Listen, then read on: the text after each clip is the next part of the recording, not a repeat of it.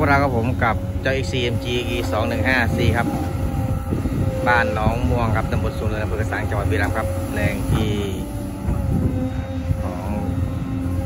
คุณพี่ที่ทำงานอยู่ที่อนามัยครับเนาะ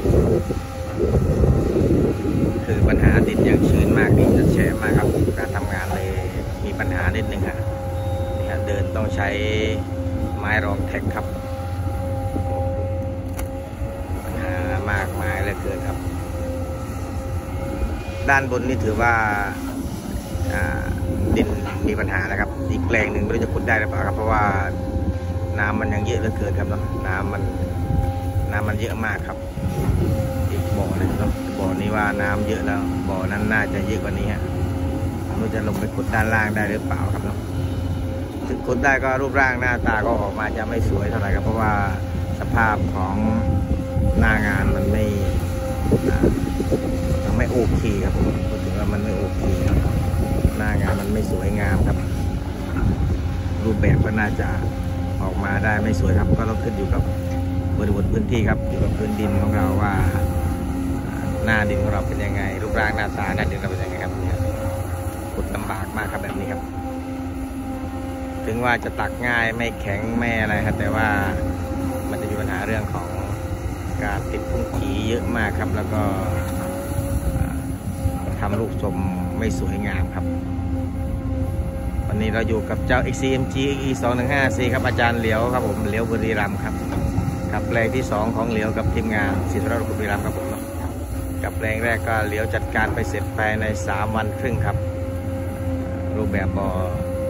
สัดส่วน 1 ต่อ 3 ครับ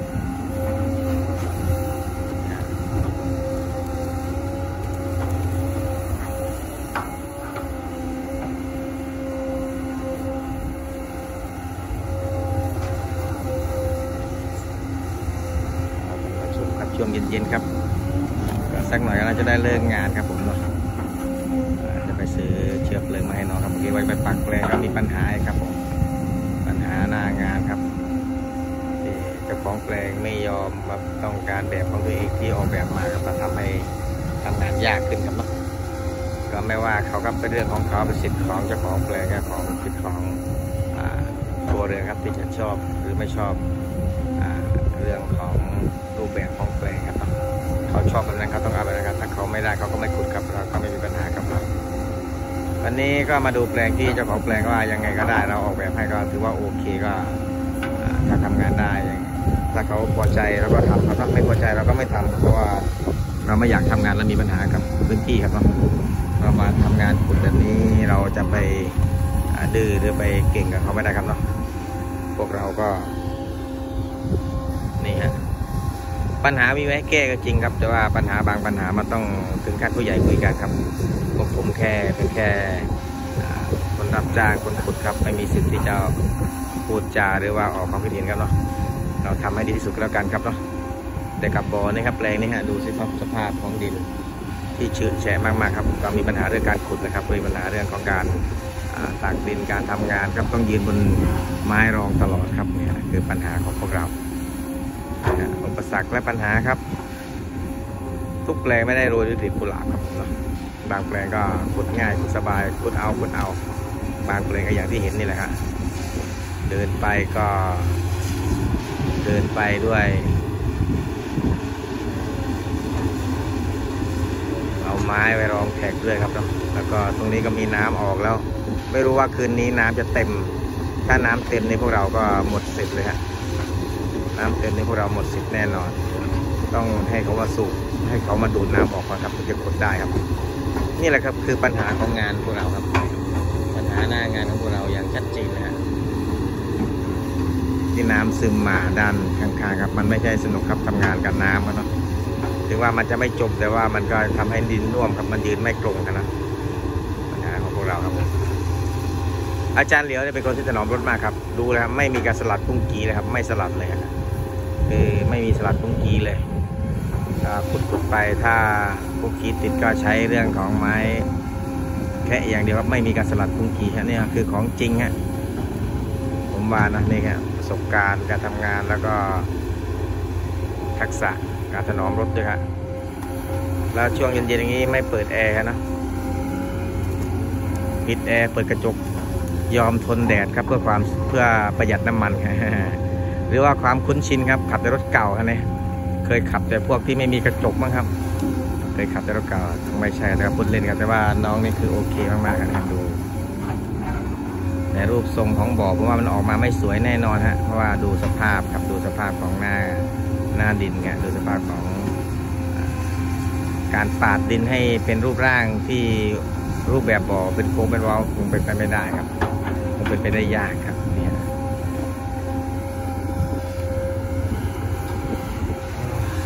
ลำบาก ใจเหลือเกินครับการทำงานเนาะ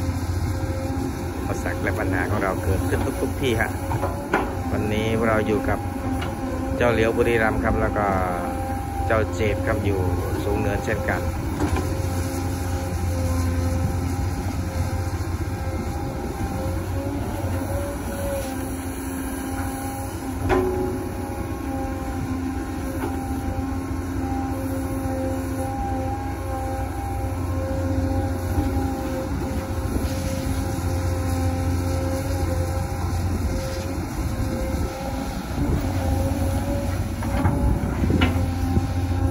ดูสภาพดินนะครับขุดง่ายก็ จริงครับ แต่ว่ามันติดกุ้งกีด้วยครับดูเนี่ยแล้วเราก็ทำเป็นสโลปเราเป็นสวยมันไม่สวยงามครับ มันออกมายังไงมันก็ไม่สวยครับ เพราะว่าสภาพดินแบบนี้ครับเนาะทำเก่งที่ไหนก็ไม่สวยครับ เพราะหน้าดินชั้นดินด้านบนประมาณเม็ดกว่าๆนี่ยังเป็นดินที่น่วมมากๆครับ มันไม่พังลงมาเป็นดินเหนียวแต่ว่ามันเป็นดินที่ยังเปียกครับน้ำมันก็จะหมดกันเสียงเตือนแล้วน่าจะเลี้ยวน่าจะเอาให้จบก่อนนี้ก็น่าจะคนน่าจะให้พักก็ให้น้องพักก่อน พรุ่งนี้ค่อยว่ากันครับเนาะ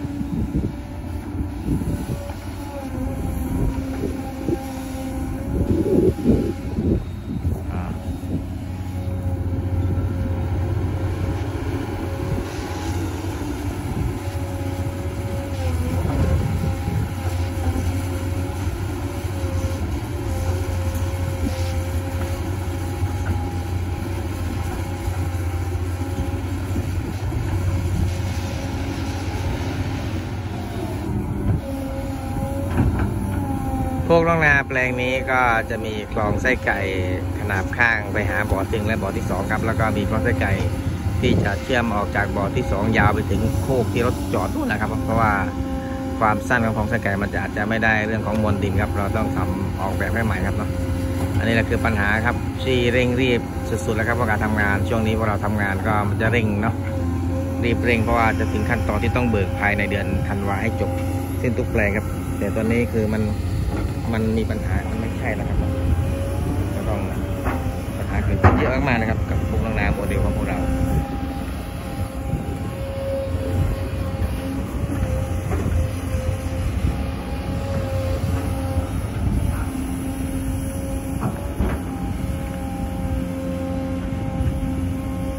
ตักแต่ละทีนี่คือคิวกว่าแน่นอนครับแต่ละคำครับเนะ และเป็นดินที่เป็นดินที่ผสมน้ำขึ้นไปก็ดินดินที่ยังนุ่มชุ่มน้ำอย่างนี้ครับ มันจะทำให้เรื่องของอดินไม่ฟูดินจะน้อยครับโคกจะน้อยฮะถ้าเรื่องปัญหาเรื่องหนึงคือการขึ้นปั้นโคกครับ มันจะขึ้นปั้นโคกยากครับ เพราะว่ามันเป็นดินเหนียวครับเนาะมันต้องแห้งก่อนถึงจะปั้นได้ครับ ตรงนี้เสียเวลาแน่นอนครับนี่ฮะถึงว่าพวกเราถึงแปลงไหนที่ว่าเร็วก็เร็วไป แปลงที่มีปัญหาก็เจออย่างนี้ฮะนี่ปัญหาของแปลงครับ อยู่ที่บริบทพื้นที่ครับผมเนาะไม่ใช่ว่าจะต้องเร็วทุกสามสี่วันทุกๆแปลงครับ บางแปลงก็ปัญหาเกิดจัดจัดอย่างนี้อย่างนี้ปัญหาหนักครับเนี่ยถือว่าถือว่าหนักครับผมถือว่าหนักครับ เพราะว่าอ่าทำงานลำบากแน่ๆนะปัญหาหนักแน่นอนไม่รู้จะเอาดินไปไว้ตรงไหนว่างั้นนะเนาะดินนิดเดียวนะไม่ได้ว่าจะดินจะถมโคกไปได้โคกหรือเปล่าครับเนาะแล้วก็การขึ้นปั้นคันมันจะไม่ง่ายอย่างที่คิดครับ มันจะทำให้เราทำงานยากมากๆครับเนี่ย